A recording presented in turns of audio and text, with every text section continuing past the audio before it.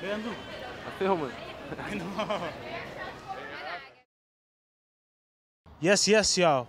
Welkom bij Brainor Presents Promario Pad. We zijn deze keer in Amsterdam. Even leuk toch, buiten Groningen. Ik ben hier gekomen om de mannen van Postman te interviewen. Waarom? Omdat ze weer bij elkaar zijn en omdat ze 15-jarig bestaan van het album gaan vieren en opnieuw releasen.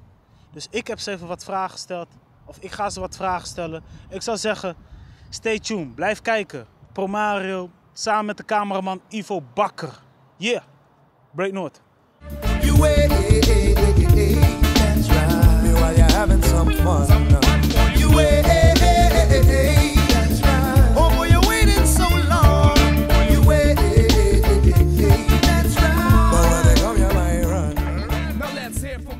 Boys, van harte welkom.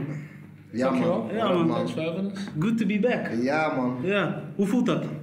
Postman man. weer terug. Ja man, voelt goed man. We hebben, we hebben al, weet je, we hebben vorig jaar hebben we natuurlijk al veel shows gedaan. Ja, Dus vorig jaar hebben we eigenlijk warm gelopen. Dus we zijn eigenlijk nu al, we gaan al het tweede jaar eigenlijk in officieel. Voor het grote publiek is het alsof we nu, maar we zijn eigenlijk al, we gaan het tweede jaar toch al in? Ja, we gaan het tweede jaar, Ja, we gaan ja, het ja. tweede jaar al in. wauw, zo snel. Ja. Ja man. Ja. Ja man. Ja, ik weet nog wel dat jij zei, ehm, eh, toen had je een show gegeven in eh, Simplon. Ja, Ik ben de datum helaas vergeten, sorry kijkers. Ja, toen zei jij eh, dat jij eh, Michael X eh, zou contacten. Maar ja, ja. hoe is het contact eigenlijk tot stand gekomen?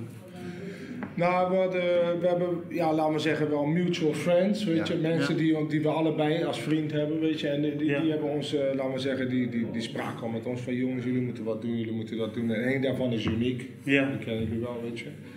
En eh, ja, toen zijn we gewoon eigenlijk een keer gaan zitten. Ik ben naar Haarlem gaan met zij gesproken. We hadden elkaar al gezien in, eh, voordat je release kwam, Ja, toch? ja. Ik had hem al gezien voordat je release uit was in Rotterdam. En. Gewoon een link, af en toe even, even bellen, even catch-up, up. En eh, ja, we gingen gewoon zitten van, we moeten wat doen. Vooral ook met die documentsplaat, weet je. Want die plaat is al negen jaar niet uit. Niet meer verkrijgbaar, niet digitaal ook, weet je. Dus het was echt zo van, ja, wat gaan we doen? We moeten wel wat doen, weet je. En, Ja. Ja, we hebben gewoon gevibed, weet je. We praten eigenlijk gewoon eigenlijk altijd, nu ook, al werken we niet, praten we altijd al over muziek. Ja. Vanaf, eh, vanaf vroeger al, weet je. Dus we, we, we luisteren gewoon naar nou, dus hetzelfde muziek, weet je. We komen uit dezelfde muziekhoek, weet je. Dus eh, ja, op die manier is het gewoon tot stand gekomen. Hebben we gewoon gezegd, laten we wat gaan doen. Oké, nice. En eh, ja, natuurlijk, jullie, jullie hebben een tijdje eh, solo-projecten gedaan en Ja. dingen uitgebracht. Hoe hebben jullie naar mekaars carrière gekeken?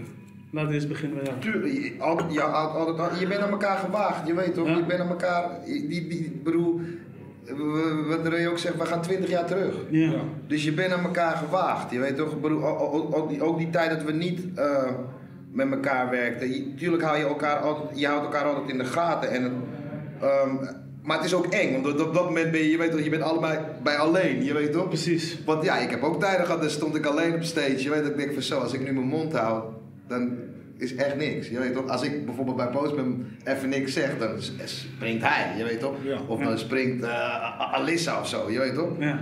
Dus je houdt altijd, je houdt altijd elkaar, je, houdt, je hield altijd elkaar wel in de gaten, omdat je bent gewoon aan elkaar gewaagd. En we hebben gewoon de, de, de grootste mijlpaal hebben we samen gemaakt. ja. En eh, hoe kijk jij naar, naar, naar, naar de hele eh, timeline van eh, Michael X bijvoorbeeld? Hoe heb jij naar gekeken? ja, kijk, dat, ik zei het net tegen iemand, omdat mensen kijken dan naar, naar hem van hij is die zanger of, of Ja. hij zingt. Maar Ja. ik ken hem als de rapper, weet je, laten Ja. we zeggen. Zo Ja. heb ik hem leren kennen. Als, Ja, als, precies. als, en dan, sommige mensen van die nieuwe generatie weten het niet, dat hij een van de, ja, een belangrijke rapper was in Nederland, een van de beste die er was, weet je. En eh, laten we zeggen, ja, dat hij zo zingt, dat vind ik gewoon een toffe ontwikkeling om te zien. Dat ik ken hem echt van hardcore hip-hop. We komen echt uit de hardcore underground Ja. hip-hop. Dat we nu een hele eh, reis hebben gemaakt. En dat Ja. hij bij zijn eigen eh, project, laten we zeggen, een track met Luciano.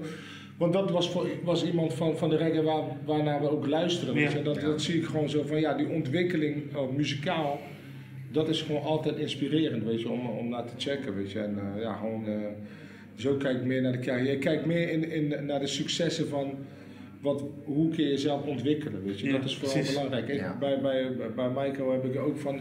Hij is in ieder geval niet blijven hangen.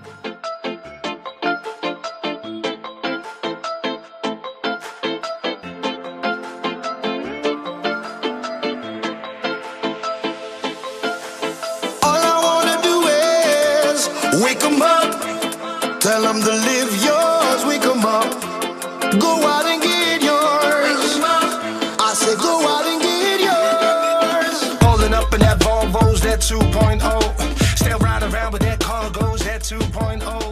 Had jullie dit ook stiekem verwacht? Twee jaar geleden? Eh, Dat nee, maar het, zat, nee het, zat er het was wel altijd van, het was Ja. onvermijdelijk. We moesten nog wat doen. Ja. je. Want het was wel een soort gevoel altijd voor mij, weet Ja. je, van, mij is ook. niet afgemaakt. Ja. Weet je, we hebben nog wat te doen. We kunnen Ja. niet dit zomaar zo laten. Nee. Nee, precies. Je weet toch, het was voor ons wel even makkelijk om even even de dans te ontspringen van, hé, laat me even dit doen. Want Ja. dan denk ik, heb ik die pressure niet. Want dat is bij ons ook, kijk, en dat, zijn, dat willen we eigenlijk ook duidelijk maken aan alle mensen, weet je. Die, die lat die we hebben gelegd is onze eigen lat. Ja. Dus wij hoeven niet halen, want wij zijn het zelf, weet Ja. je. Maar we hebben heel lang onder dat ding gezeten van, shit, we hebben die lat zo hoog gelegd. Ja. Nu kunnen we niet meer naar die lat, terwijl het, we, zitten, we hebben die lat zelf daar gezet, weet je. Dus wij kunnen doen met die lat wat we willen. Het is niet zo van, mensen kunnen wel van de zijlijn zeggen van, jullie hebben dat, maar wij hebben het gemaakt. Ja. Weet je, wij zijn het die, die, waar mensen dus over praten. En we hebben denk ik wel voor onszelf een beetje losgelaten. Zo van, ja, het is cool, weet je. Van, we hebben het een plekje kunnen geven. En dat konden we alleen ook samen. Ja. Ja. En eh, als het goed is, eh, komt de plaat er weer opnieuw uit via Topnotch. Ja. Ja. En eh, het grappige is, eh, daar, daar is Documents ook begonnen. Eh, Ja. Hoe zijn jullie uiteindelijk eh, tot stand gekomen om te praten met bijvoorbeeld de platenmaatschappij Topnotch? Ja, daar was die plaat. Ja. Weet je, dus, dus eigenlijk hetzelfde hoe ik, hoe ik hem eh, met Shine moet doen. Ja. Whatever, zouden we nu beef hebben en dingen. Dan moeten we nog steeds met z'n tweeën doen. Ja, Dat geldt ook voor, Voor Top Notch. Topnotch. ja. Ja. nee, duidelijk. Nee, Ja, gruwelijk. dat is een beetje... Ja. Het is de history die je met elkaar hebt. Ja. Je weet toch, het is ook, ook, ook voor Topnotch is het een mijlpaal geweest. Ja, nog steeds. Je nog Ja. steeds, begrijp je wat ik bedoel? En bedoel, ja, Kees wou hem ook altijd vieren. Je weet Ja. toch, Kees wou hem al, Kees wou hem al een aantal jaren geleden wou die hem al vieren. Dus nu, nu komt alles bij elkaar, weet je. Bedoel, het, het is dope, want die- ja, die plaats is dan negen jaar niet verkrijgbaar. ehm, digitaal of eh, je kon hem in de winkel ook niet bestellen, omdat daar werd niet meer bijgedrukt. Maar ja, hij is dubbel platina, weet je. Want die plaat is gewoon dubbel platina. En dat is, dat is bizar, want eigenlijk als je het vandaag de dag zou zien, is hij vijf keer platina. Ja. Ja, toch, want platina is nu wat? 20.000 toch? Nee, ja. Zoiets. 20.000. ja. Ja, ja. dus als, als we het in de telling van vandaag de dag zouden, dan hadden we vijf plaques moeten hebben. je weet, Ja, ja. Dus het is, het, het is alleen maar dope, man. Het is echt, het is, het is, een, het is een blessing, man. Het is, het is een gruwelijke blessing. En ook de mensen in Groningen, kom alsjeblieft 4 mei naar de Paradiso. Zaterdag 4 mei. Documents 15 anniversary. Kom ons gewoon checken, man. Die single, die komt ook op een nieuwe plaat of hoe moet ik het Op zien? die eh, extra bonus CD. Oh, op een extra bonus. Ja. Ja. Oh, Oké. En komen daar nog meerdere nummers op te staan? Of, Ja. ehm, waar, eh, als ik zo mag vragen, eh, welke richting gaat het precies op? Of Nee, kijk, dus Ja? de bonus CD heeft wel met documents te maken. Ja. Daarom ook de titel. Laten we iedereen weer even wakker maken. Oké. Onszelf ook, van... hey, weet je, van... Dus dat is eigenlijk het, het, het nummer wat even eh, dit nieuwe tijdperk instart. Maar op de plaat zelf staat gewoon een unreleased track van ons, de day before. Er staat een demo track op. eh, Oké. er staan de singles, wat, wat ja, veel mensen weten niet dat als je bijvoorbeeld de single Crisis luistert en de Crisis op, de, op, eh, op, het, album, op het album zelf, is twee verschillende nummers eigenlijk, stiekem. Ja. Ja. Heeft ook zelfs andere lyrics, weet je. Ja. We hebben alles opnieuw gedaan in de single versie altijd. Oké. Maar dat, dat weten mensen niet, want ik weet ook soms niet welke versies ze nee, dan nee, kennen. nee. Het refrein is wel hetzelfde, maar eigenlijk is het twee verschillende versies. Dus we hadden ook zoiets, laten we dat op één LP zetten. Weet je. Dat, dat zijn dingen die mensen niet, ja, niet zo kennen. Dus, en het is eigenlijk als je een, iets ouds uitbrengt, weet je, van waarom zou je dan weer die LP gaan checken? Nou, daarom moet je hem checken, weet je, omdat we de extra singles erop hebben Ja. gezet. Weet je. We hebben het verhaaltje eigenlijk een beetje rondgemaakt. We hebben een, eh, een jazzversie van Cocktail erop staan. Nee, niet. Ja, ja, ja. We hebben nog een nieuw ander nummer. De- de- We hebben ook nog een Hey Mr. Postman. eh, hebben we ook nog een nummer gemaakt. Ja. Een beetje in die stijl van, van Documents. Ook gewoon als extra nummer. Ja. Omdat, ja, tuurlijk willen we wilden nog wel nog vier, vijf andere nieuwe nummers erop zetten. Maar het gaat om 15 jaar Documents. Ja. Maar als je het ook zegt, weet je, 15 jaar Documents, 15 jaar documenten. We hebben ook wel nog meer dan dat natuurlijk. Weet je. Ja. We hebben onze eigen plaat die we hebben gedaan. Ja. eh, eh, de featurings die we hebben gedaan. Gewoon muzikaal wat we hebben gedaan is ook 15 jaar gedocumenteerd. Ja.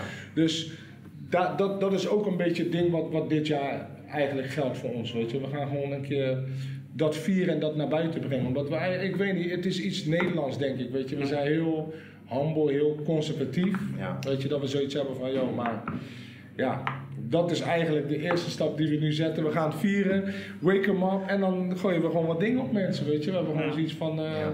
ja. laten we gewoon wat nieuwe muziek brengen voor de people. Ziekie. Dope. Willen jullie nog wat zeggen tegen de uh, kijkers? Shout-out naar de Break. Breakout, Break North listeners. Hoor nou, Breakout, Break North listeners. Kom ons checken 4 mei. En je weet, misschien later dit Ja, jaar komen we ook jullie richting op, komen we richting Groningen. Je weet toch, Support the shit, kom, ja, support the Belangrijk. shit. Dat is belangrijk, je weet toch? weet je. Want, Stay support. we krijgen al zo weinig support. Precies. Ja. Ja, support die shit. Support die shit gewoon, support the scene, je weet toch? En kom ons checken man, 4, 4 mei man, kom ons checken man. Ja, kom de culture vieren, weet je. Ja, man. Dus, eh, Support Postman. Ja man, Document. 15 Ah. jaar. Ait. 15. Wow. Bless.